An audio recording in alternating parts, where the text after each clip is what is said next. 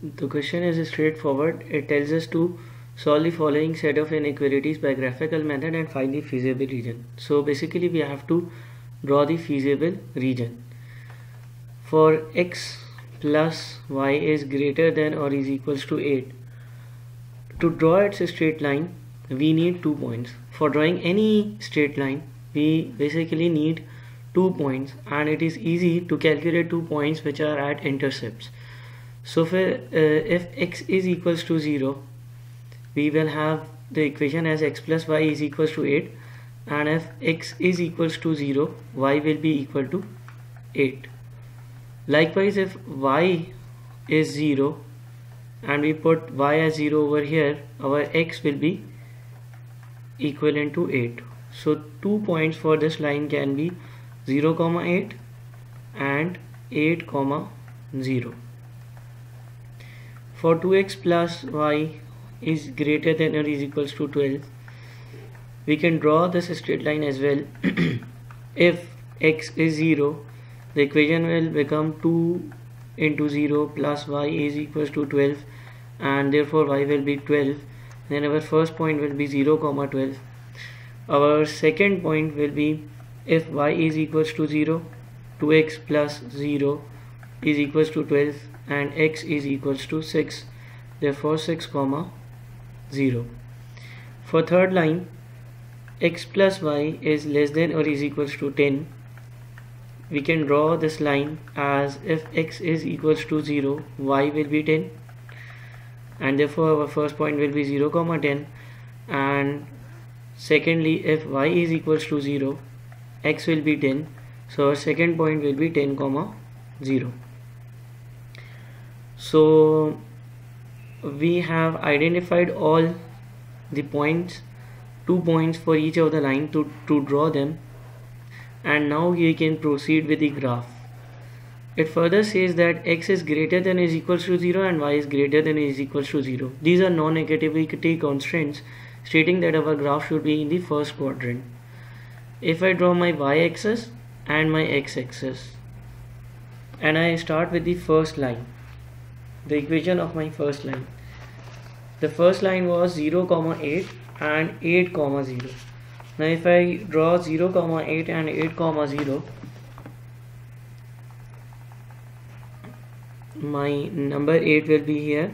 So this point is 0 comma 8 and sorry 8 comma 0 and this point let's say is 0 comma 8 this is the origin and at y-axis x is always 0 and at x-axis y is always 0 so this point is basically 8 comma 0 and this point is 0 comma 8 so my first line will be like this. My second line is 0 comma 12 and 6 comma 0 which is 2x plus y is greater than or is equal to 12 0 comma 12 0 comma 12 will be somewhere over here. Because this is 8 and 12 should be somewhere up over here. And my 0 comma 12 is this. 6 comma 0 will be somewhere over let's say here.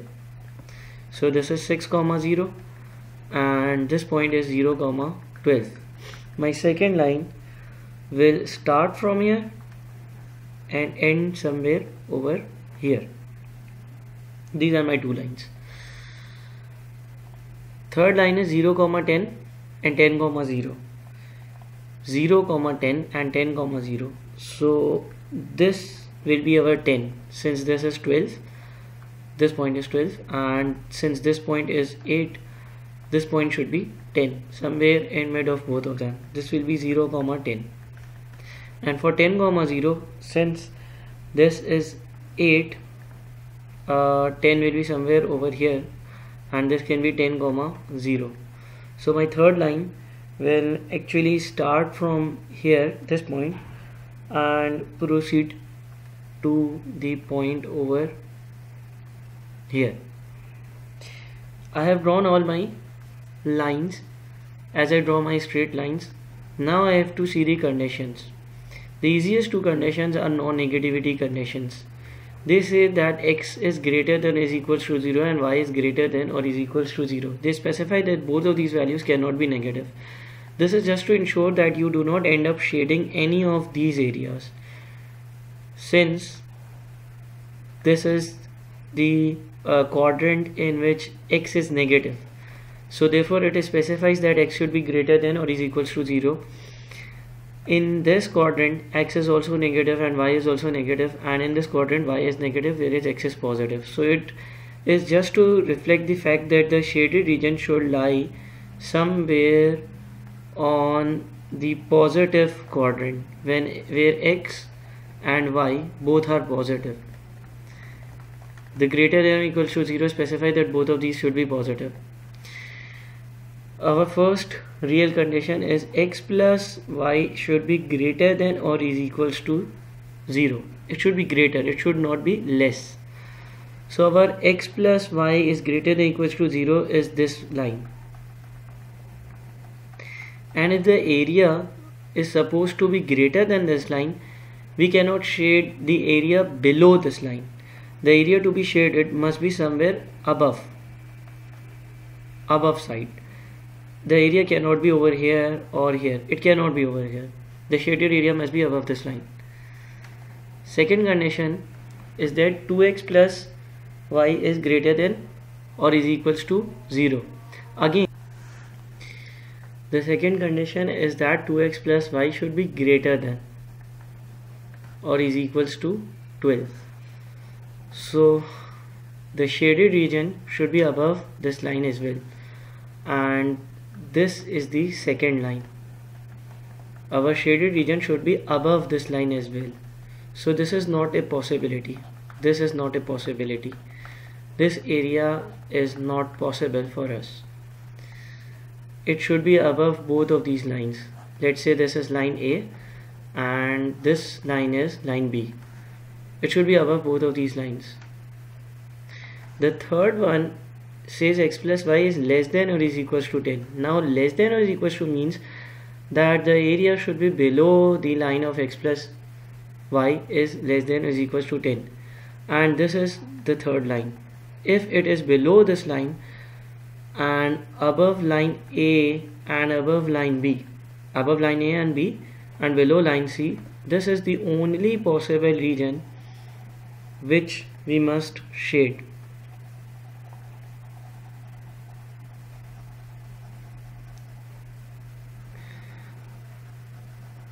To remind you from your basic lecture, feasible region is a region which satisfies all of the inequalities simultaneously.